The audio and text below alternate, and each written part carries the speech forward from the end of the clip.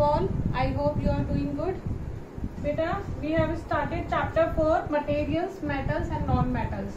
Okay, ये हमने start किया था और इसमें हमने metals और non-metals की physical properties आपको पढ़ा दी थी।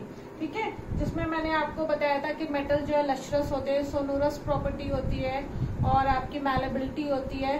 ठीक है? तो ये आ, आपकी ये सारी डक्टिलिटी होती है सारी properties physical properties we have already studied now today we will uh, we will study about the chemical properties. Chemical properties of metal and non metals पहले हम ब्रीफ में जान लेते हैं मैंने एक साथ लिख दिया है।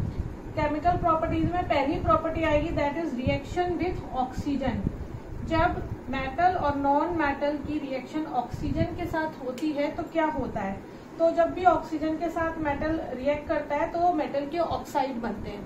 ठीक है? और नॉन मेटल के भी ऑक्साइड बनते हैं। जो मेटल के ऑक्साइड होते हैं आपने जैसे प्रीवियस क्लास में पढ़ा होगा, आपका रस्टिंग आयरन तो वो ऑक्सीजन की प्रेजेंस में ही होता है रस्टिंग होती है, ठीक है? तो इसकी रिएक्शन मैं बताऊँगी आपकी कि मेटल के साथ जब ऑक्सीजन रिएक्ट करता है तो कैसे मेटल के ऑक्साइड बनते हैं और कैसे नॉन मेटल के ऑक्साइड बनते हैं। Next reaction with water reaction with water metal में metal react with water but non metals जो हैं वो वाटर से रिएक्ट नहीं करते हैं, ठीक है? मेटल रिएक्ट करता है, कुछ मेटल्स जो है वो ज़्यादा रिएक्ट करते हैं, कुछ स्लोली करते हैं आयरन स्लोली करता है जैसे, ठीक है? Reaction with acid reaction with acid में भी आपका मेटल एसिड के साथ कैसे रिएक्ट करता है? नॉन मेटल करता है या नहीं करता है, इसके बारे में पढ़ेंगे। रिएक्शन विथ बेस बेस के साथ क्या, कैसे मेटल रिएक्ट करता है? और नॉन मेटल करता है कि नहीं करता है?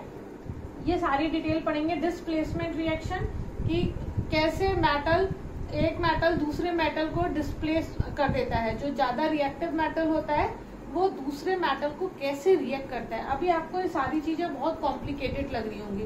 तो डोंट वरी आप उसके बारे में परेशान मत होइए। हम एक एक टॉपिक को लेकर के चलेंगे और उससे मैं आपको सारा समझाऊँगी।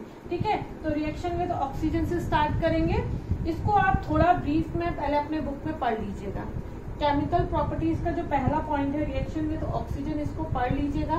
उसके बाद मैं आपको वीडियो जो बनाऊँगी, भेजूँगी, उसमें आप पूरा आपको एक्सप्लेन करूँगी और फिर लाइव क्लास में वी विल ऑल्सो डिस्कस ठीक है? तो ये सारी प्रॉपर्टीज़ के बारे में पढ़ेंगे। पहले फ़िज़िकल प्रॉपर्टीज़ आप सारा रिवाइज कर लीजिएगा और फिर एक एक सारी प्रॉपर्टीज़ रिवाइज करिएगा, उसको मैं पढ़ाती जाऊँगी।